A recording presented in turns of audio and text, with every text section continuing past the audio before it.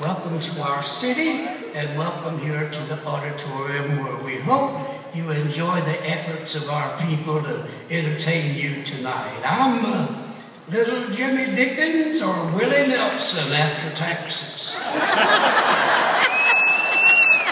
I've been called everything. I, I, was in the wings there just a moment ago, and before I came out here, and I walked by a man and his wife, and as I went by, she punched him in the ribs and said, Lord, have mercy, John. There goes Mighty Mouse in his pajamas. you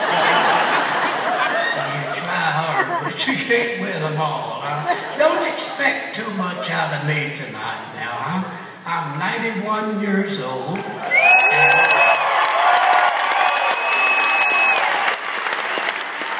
I'm not well.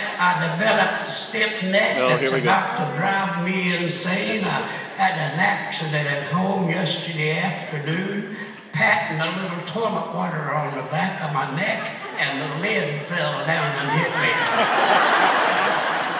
I've been given this a lot of thought. That may not be what caused my stiff neck. Went to my doctor last week and gave me some of those pills for men my age. And if you don't swallow them quick, you'll get a stiff neck.